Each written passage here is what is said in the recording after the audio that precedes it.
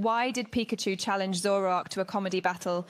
Because he thought he could shock Zoroark with his electrifying punchlines, but Zoroark only shadowed in response. And now, let us look at 11 critical differences between the two. Let's compare the differences between Pikachu versus Zoroark, two popular and iconic Pokemon. Difference 1 Pikachu and Zoroark have different types in the Pokemon universe. Pikachu is an electric type Pokemon, which means it can use electricity based attacks and has a high level of speed. Meanwhile, Zoroark is a dark type Pokemon, which means it can use dark orientated attacks that have a wide range of effects, including some that can confuse or frighten opponents. Difference 2 their appearances are distinct. Pikachu is a yellow, short, chubby rodent like creature with long ears that have black tips. On the other hand, Zoroark is a humanoid fox like creature with red and black fur and mane like hair.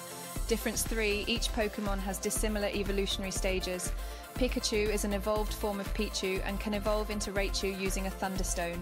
Meanwhile, Zoroark evolves from Zorua starting at level 30 and does not have another evolutionary stage.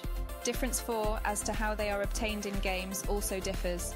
Pikachu is usually caught in the wild, whilst Zoroark is usually evolved from a Zorua. Difference 5 they are from different generations in the series. Pikachu is from the first generation of Pokemon games, Red, Blue, and Yellow, whereas Zoroark hails from the fifth generation, Black and White. Difference 6 their base stats in the game vary. Pikachu typically has lower overall stats compared to Zoroark, who has higher base stats in total, which includes more attack, speed, and hit points. Difference 7 in relation to genders, although both Pikachu and Zoroark can be male or female, a female Pikachu has a heart-shaped tail, while all Zoroark have the same appearance regardless of gender. Difference 8 Pikachu has its own special abilities, which include Static and Lightning Rod, abilities that are targeted towards electric attacks.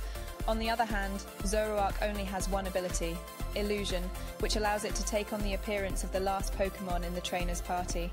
Difference 9 Pikachu is famed for being the mascot of the entire Pokemon franchise, featured in nearly every aspect of the brand. On the contrary, while Zoroark has also been featured in various Pokemon media, it does not hold as prominent a position.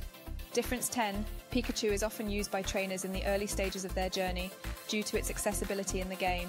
Zoroark, however, is more typically obtained later in the game due to Zorua's later availability and higher level evolution requirement. Difference 11 In the Pokemon anime, Ash Ketchum's Pikachu has an unusually high level of strength and skill, exceeding typical members of its species. However, Zoroark doesn't have a consistent character in the anime, and often its capabilities are tied directly to its wild status or its trainer's skills.